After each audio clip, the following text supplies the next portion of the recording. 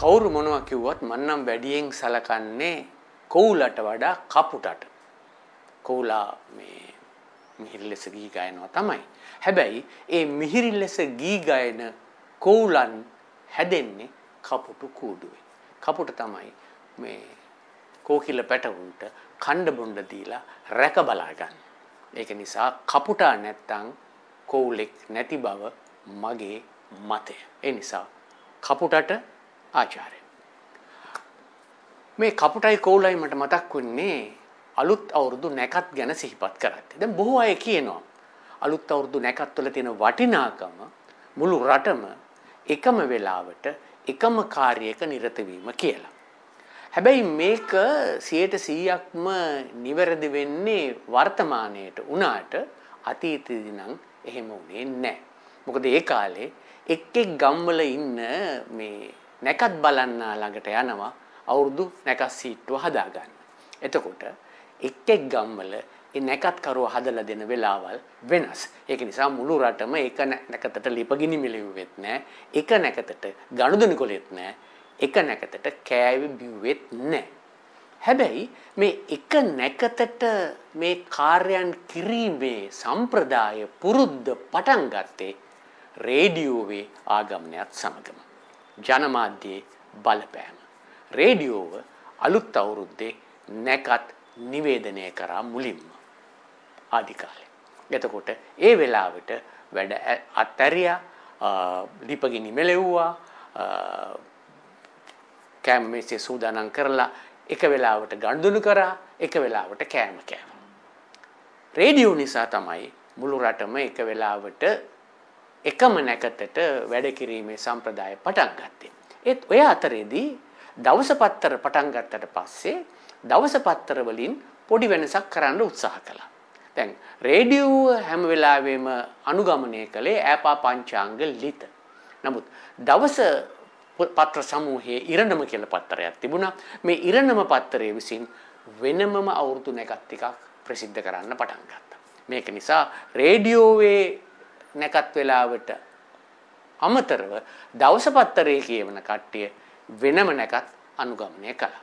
පසුව මේ නැකත් හුටපටේ දුර දෙක ගිය නිසා රජය මැදිහත් වෙලා පොදු නැකත් හැදීමේ කමිටුවක් දාලා ඒ කමිටුව මගින් අලුත් අවුරුදු නැකත් සීට්ටුව හදන්න තීරණය කළා. දැන් ක්‍රියාත්මක වෙන්නේ ඒ ක්‍රමවේදය. බොහෝ විට මේ ජනමාධ්‍ය නිසා යම් වෙනස්කම් වෙනවා. දැන් ක්‍රීඩාවේ වෙනස්කම් වෙලා තියෙනවා ජනමාධ්‍ය නිසා. විශේෂයෙන්ම ක්‍රිකට් ක්‍රීඩාවේ දින පහේ ටෙස්ට් තරඟ අභාවයට ගිහිල්ලා මේ කෙටි කාලයකදී නිම කරන තරඟ ආවේ රූපවාහිනිය නිසා.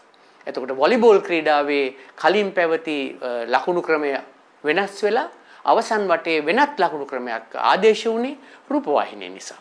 දැන් ලංකාවේ බණ ගත්තොත් ලංකාවේ දැන් අපි කියන්නේ බණ කියපුවම අපේ වර්තමාන පරම්පරාව ඔක්කොම හිතන්නේ බණ කිව්වොත් පැයකට තමයි බණ කියන්නේ සාමාන්‍ය වශයෙන් කියලා. නමුත් මේ පැයේ බණ හැදුනේ ගුවන් විදුලිය නිසා. ඉස්සර ගම්වල බණ කියන්න ගත්තාම රෑ එළි වෙනකන් හාමුදුරුවන්ට හොඳටම නිදිමත හැදෙනකන් හාමුදුරුවෝ බණ කියනවා. කොට්ට මෙට්ට අරන් තමයි කොට්ට පැදුරු අරන් තමයි බණ අහන්න එන්නේ. රෑ පානේ යන්න බැරි අය බණ මඩුවේ කොට්ට පැදුරු වෙලාගෙන නිදා ගන්නවා. ඒ වගේම ආසන දෙකේ බණ තියෙනවා. එතකොට මේ බණ සෑහෙන වෙලාවක් යනවා. හාමුදුරුවෝ දෙනමක් බණ දේශනා කරනවා. නමුත් පැලෑනේ වජිර ඥාන හාමුදුරුවෝ මුල් වෙලා ගුවන් විදුලියේ බණ පැයකට සීමා කරා. මොකද ගුවන් විදුලියට කාලය වැදගත් වෙන නිසා. ඊට පස්සේ තමයි මේ පැයේ බණ සම්ප්‍රදාය අපිට බෝනේ. අපි උකහා ගත්තේ. අපි අනුගමනය කරේ. අපි පිළිපැත්තේ. දැන් ගුවන් විදුලිය මුල් කාලේ අලුත් අවුරුදු නැකත් ඒ වෙලාවට නිවේදනය කරලා දැන්නුවා. ඊට පස්සේ වුන් පටන් ගත්තා සිව්දිගින් අවුරුදු කියලා වැඩසටහන. සජීවි වැඩසටහන.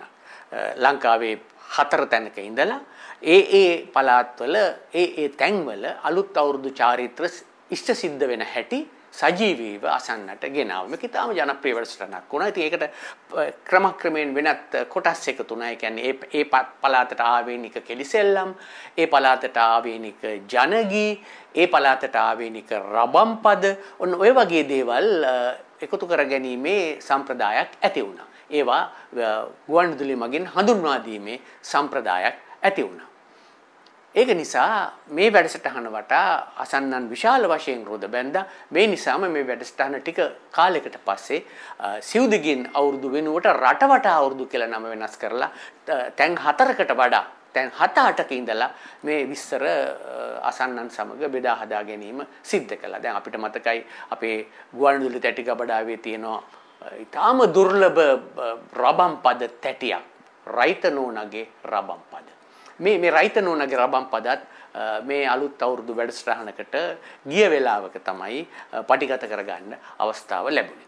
ඉතින් ඔය ඔය මේ මේ වැඩසටහන් සඳහා යනකොට ටිකක් කල්ැතුව යනවා ඉස්සෙල්ලම ගිහිල්ලා ඒ පළාත දැන හඳුනා ගන්න මාසයකට විතර කලින් යනවා. ගිහිල්ලා ඒවා ඒ පළාත බලලා ඒ පළාතට ආවේනික මේ කෙලිසෙල්ලන් තියනවද, ජනගී තියනවද, විශේෂතා තියනවද, අලුත් අවුරුද්දා බැඳුණු වෙනත් වත්පිළිවෙත් තියනවද ආදි වශයෙන් පොඩි සමීක්ෂණයක් කරනවා. කරලා තමයි මේ කටයුතු මේ ඉෂ්ට සිද්ධ කරගන්න. නැත්නම් සජීවී මිශ්‍ර ਵਿਚාරයට අලුත් අවුරුද්ද දවසේ සම්බන්ධ වෙන්න. මේක ටිකක් බරපතල වැඩක්. ඒක නිසා මේ කල් ඇතුව යන්න ඕනේ. කල් ඇතුව යන එකට සාමාන්‍ය ගුවන්විදුලි භාෂාවෙන් කියන්නේ කල් ඇතුව යන්නේ මෙටීරියල්ස් හොයන්න කියලා. ඉතින් එක කාලෙක ගුවන්විදුලියට ආව අධ්‍යක්ෂ ජෙනරාල්වරයෙක් ඔහු මේ මාධ්‍ය ගැන කිසිම දැනුමක් තිබුණු කෙනෙක් නෙවෙයි. ඒ කාලෙත් එහෙමයි. එතකොට මේ අධ්‍යක්ෂ ජෙනරාල්වරයා ප්‍රශ්නයකදී කියනවා ඇයි මේ කලින් යන්නේ? මේ අලුත් අවුරුද්දට කලින් දවසේ කියපුවාම ඇතිනේ. සතියක් දෙකක් කලින් යන්න ඕනේ. නෑ සර් මේ මෙටීරියල්ස් හොයාගන්න එපා එහෙ ගිහිල්ලා. අයිසේ අයිසේ ඔන්න බලනවා තමුසලාට තියෙන ප්‍රශ්නේ. තමුසලා ඔය මෙටීරියල්ස් මෙහෙන් අරන් යනවාකෝ. එතකොට ඔය ප්‍රශ්නයක් නෑනේ දවස් ගණන් ගිහිල්ලා ලගින්න ඕනේ. ඒ වගේ දේවලුත් වුණා. ඔය අලුත් අවුරුදු වැඩසටහන් පසු රූපවාහිනියටත් එකතු වුණා. රූපවාහිනියට එකතු වුණාට පස්සේ රූපවාහිනියම එක සජීවීව පෙන්වන්න පටන් ගත්තා. මං සම්බන්ධ පොඩි කතන්දර දෙකක් කියන්නම්. ඉතින් අපිත් මේ නාහෙට අහන්න නැති කාලෙනේ අනුරාධපුරේ මට සිද්ධ වුණා අනුරාධපුරේ ඉඳලා එක රූපවාහිනී සජීවී වැඩසටහනක් ඉදිරිපත් කරන්න. දැන් ඉතින් අනික් රටවටේ අනික් තැන්වල මේ ඒ වෙලාවේ කෑම මේසය ගැන කතා කරනවා. කතා කරනකොට මේ අපේ අපිට ආවේනික දේශීය කෑම වලින් මේ මේ අපේ මොකක්ද කෑම මේසය පිරීලා තියෙනවා කියලා. ඉතින් ඒක එක තැන්වල ඉන්න විස්තර ਵਿਚාරකයන් බොහොම සාඩම්බර විදිහට වර්ණනා කරද්දි මම කිව්වා මෙහෙම. අනේ අපේ කෑම මේසේ නම් දේශීය කියා යන්තම් හරි හඳුවන්න පුළුවන් කෑමක් තියෙන්නේ මේ කෙසෙල් ගෙඩි විතරයි. අනික් ඒවා ඔක්කොම විදේශීය කෑම වර්ග තමයි අපේ කෑම මේසේ තියෙන්නේ. දැන් මේ කිරිබත් කේරළෙන් ආපු කෑමක් කැවුම් උතුරු ඉන්දියාවෙන් ආපු කෑමක් මේ ආස්මි මැලේසියාවෙන් ආපු කෑමක් කොකිස් පෘතුගීසින්ගෙන් ආපු කෑමක් අපේ කෑම මේසේ නම් දේශීය කෑම මුකුත් නැහැ කියලා කිව්වා. මේක ඉතින් අර දෙබරට ගල් ගැහුවා වගේ වුණා.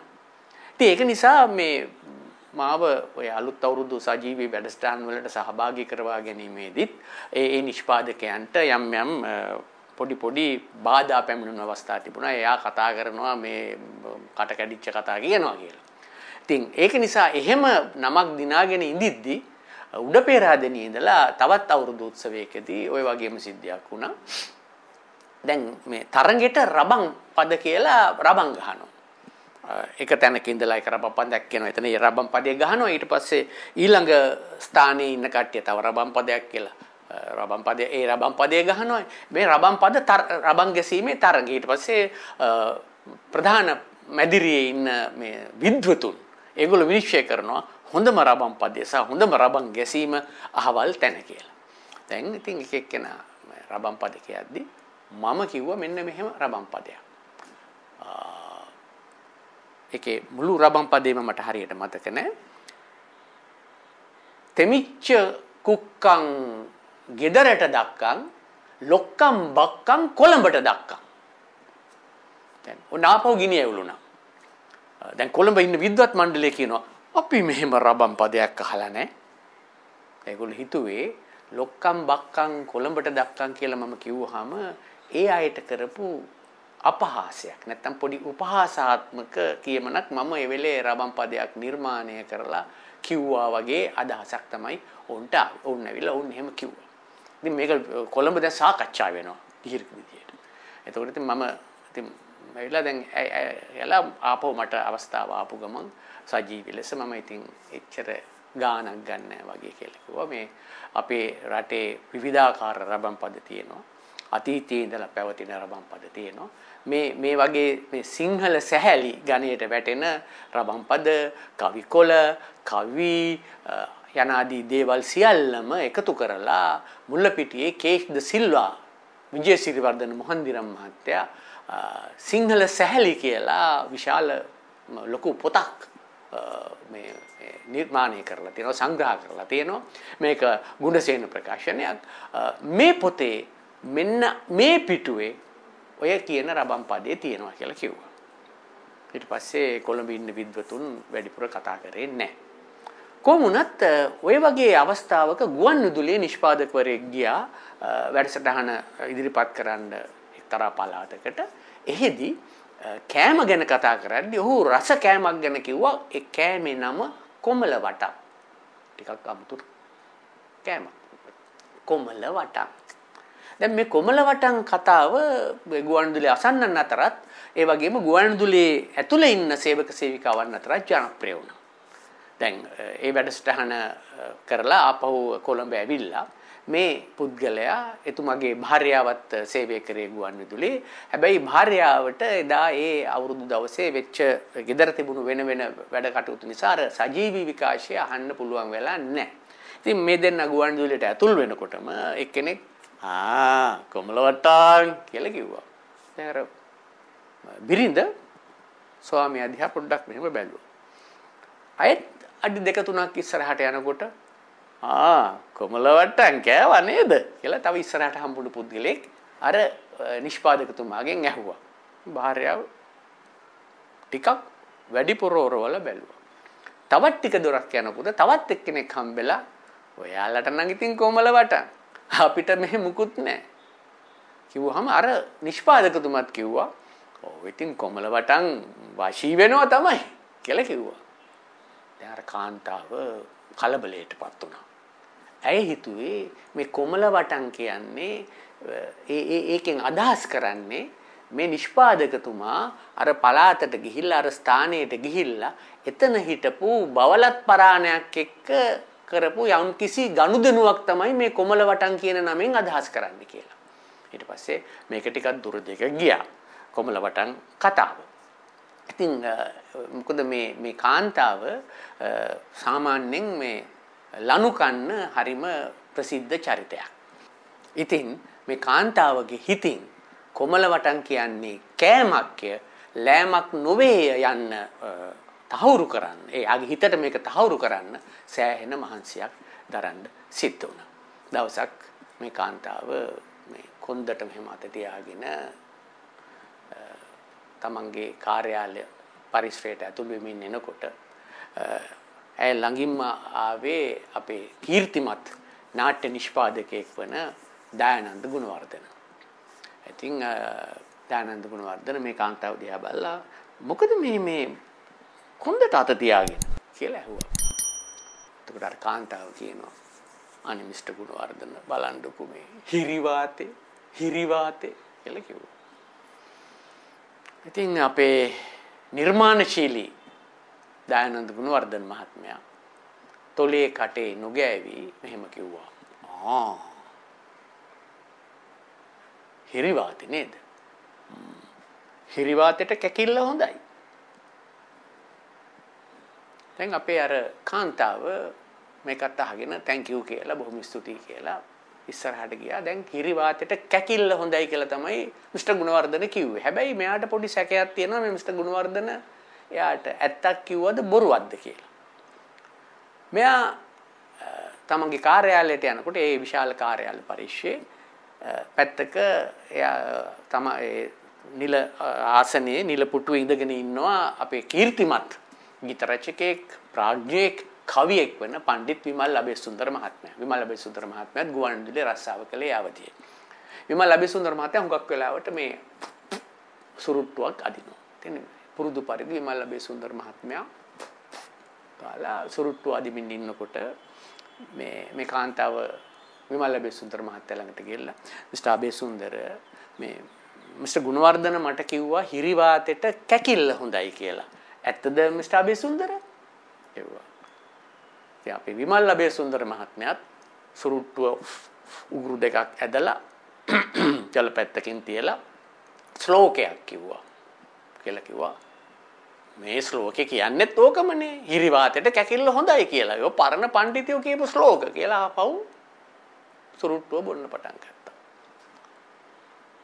දැන් ඉතින් මෙයා වැඩේ පිළි අරගෙන හැමතැනම කියාගෙන යනවා. මම මට හිරිවාතේ හිරිවාතෙට කැකිල්ල හොඳයි කියලා මිස්ටර් ගුණවර්ධනත් කිව්වා මිස්ටර් අබේසුන්දරත් කිව්වා කියලා. ඇත්තටම හිරිවාතෙට කැකිල්ල හොඳද?